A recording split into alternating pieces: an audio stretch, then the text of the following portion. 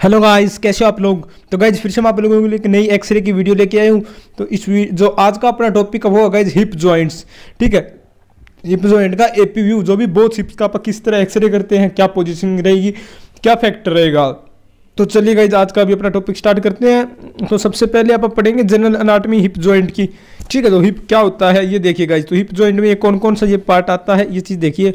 अपने को ये पहलुस पूरा, अपने नॉलेज में होना चाहिए कि आप पहलुस आप पता लगा सकते हैं कि हाँ क्या क्या दिक्कत है पेशेंट को। ठीक है कहाँ कहाँ फ्रैक्चर हो सकता है। तो ये चीज़ चेक कर लो गाइज़ यहाँ देखो। तो सबसे पहले इस पॉइंट में देख रहा है, ये ऐसा ही जॉइंट दिख रहा है ना?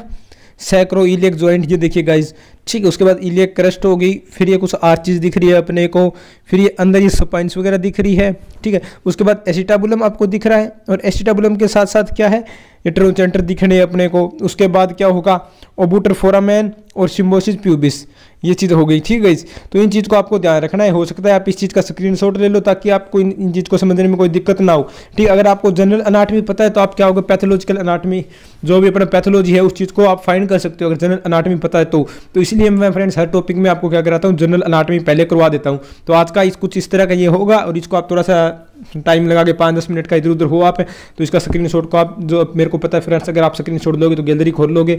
तो उससे आपको ये बेनिफिट हो जाए कि आप इस चीज़ को पढ़ सकते हो। उसके बाद चलिए हिप जॉइंट होता क्या है? सबसे पहले फ़र्स्ट पॉइंट ये कह रहा है कि, ये देखिए the hip joint is a ball and socket joint सबसे पहले ये देखिए हिप जॉइंट कौन सा है? बाल और सॉकेट जॉइंट हो गया। ठीक है साइनोविल जॉइंट में कौन सा पार्ट है इसका? बाल and socket joint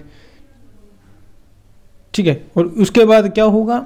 In which smooth almost spherical head of the femur articulate with acetabulum और हिप जॉइंट में क्या हो रहा है? जो फीमर का हेड है, वो किसके अंदर आर्टिकुलेट कर रहा है? जो एसिटाबुलम के अंदर दसा हुआ है। ठीक है, ये चीज़ याद रखना। ये होता है अपना हिप जॉइंट उसके बाद क्या होगा गाइज़ अपनी जो, इसमें क्या क्या और दिखेगा? जो अपना फिमर है फिमर का जो ऊपर का जो पार्ट है प्रोक्सीमल एस्पेक्ट है, उसमें क्या क्या चीज़ दिखेगी अपने को?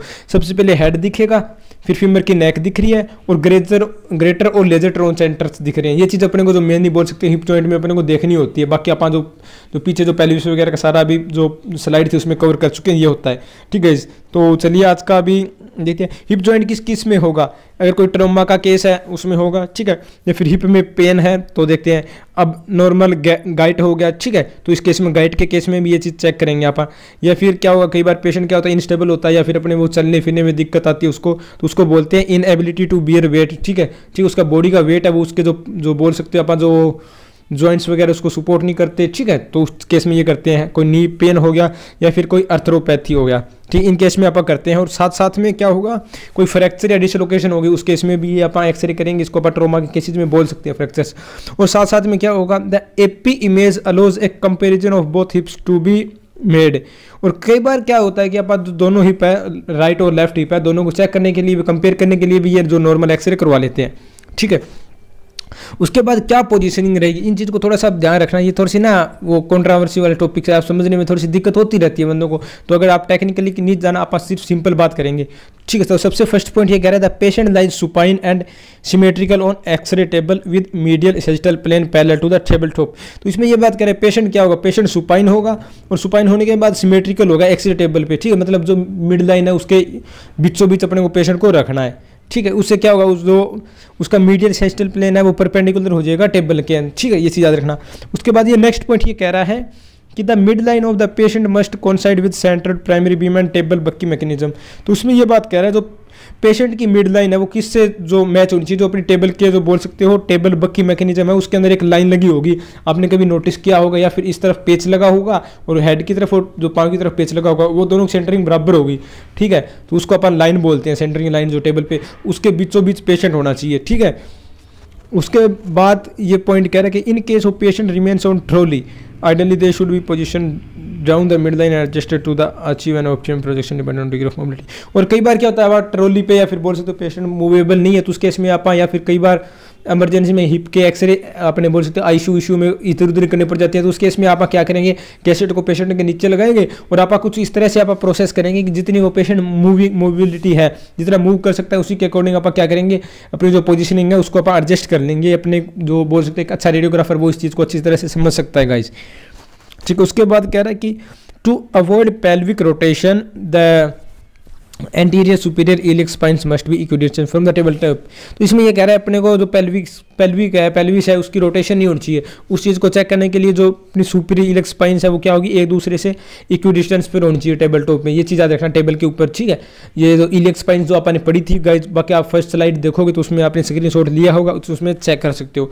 उसके बाद क्या होगा? The limbs are slightly abducted internally and rotated showing femoral neck पहले टू द कैसेट तो इसमें क्या करा है? पेशेंट को क्या करना है? थोड़े से उसके जो लिम उसको अपडक्ट कर देना और इंटरनली रोटेट करते हैं बिल्कुल मामूली सा। उससे क्या होगा कि जो फेमोरल हेड है, बोल सकते हो नेक है, वो क्या होगी? कैसेट के पैरेलल में हो जाएगी।